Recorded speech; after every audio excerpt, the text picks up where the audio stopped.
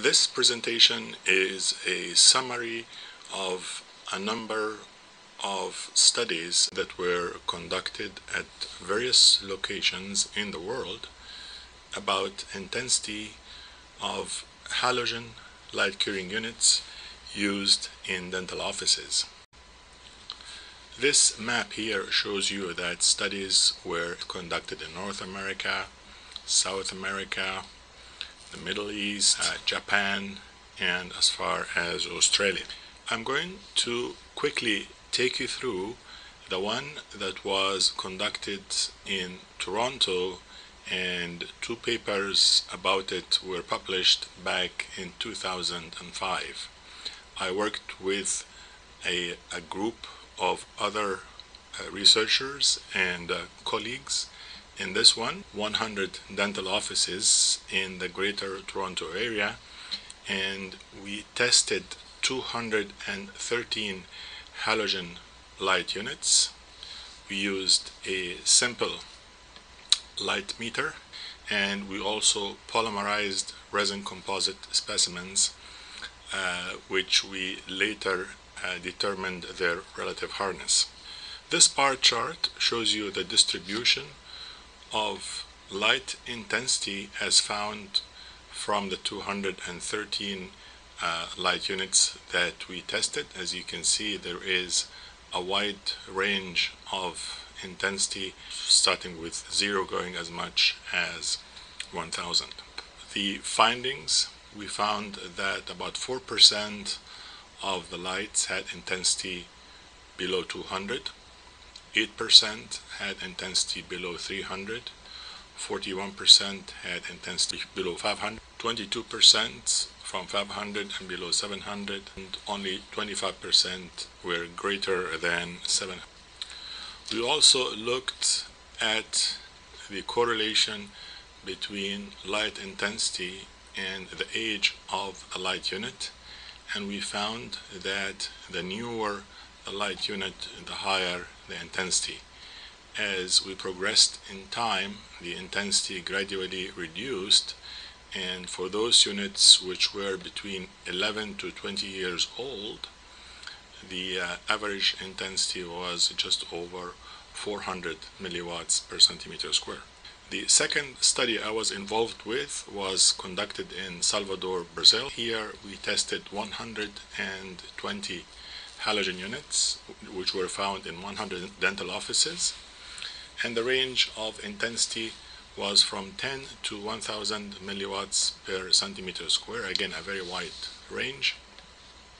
56 of the units had intensity less than 300 milliwatts per centimeter square and the heat glare values ranged from 10 to 250 age of the light units aged from 1 to 21 years and none of the dental offices I visited had a light meter.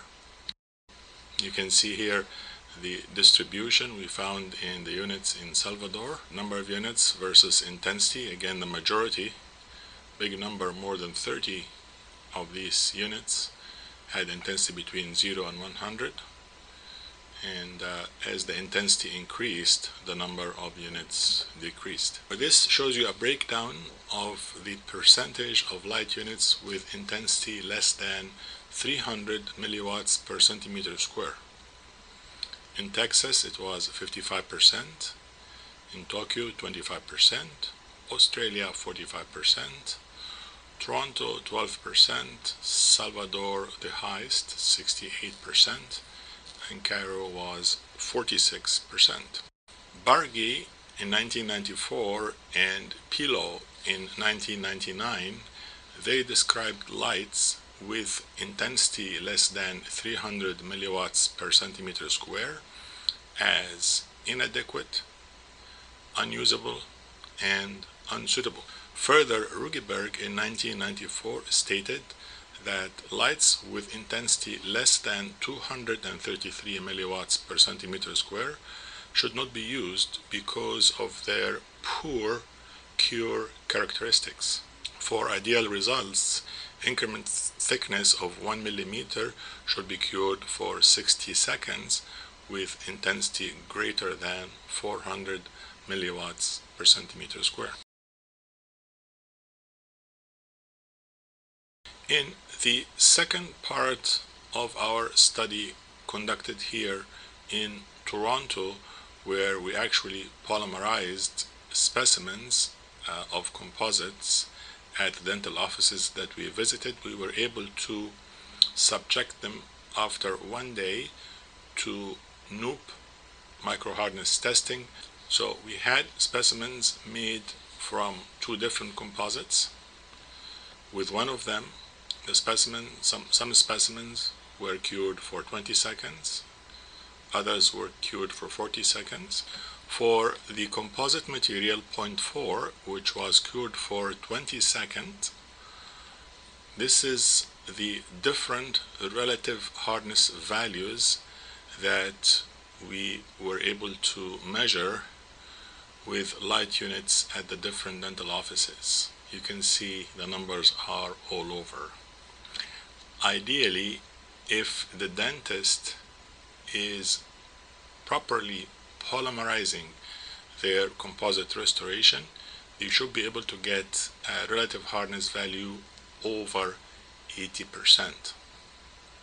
As you can see here, the majority of the specimens we prepared using the light units that the dentists used in dental offices produced relative hardness values below this 80%. When we increased exposure time to 40 seconds, things improved a little bit. However, still the majority of the specimens we had had relative hardness values below the 80% level.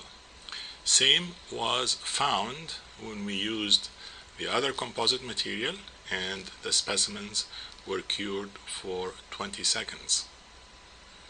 You would notice here only few specimens managed to score numbers of relative hardness ratios above the 80%.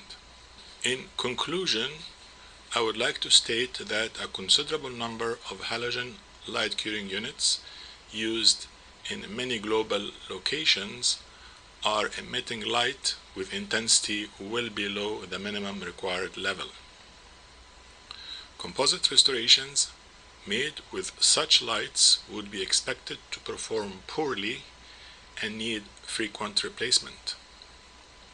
Dentists worldwide need to follow strict measures in their offices to ensure proper polymerization of composite restorations.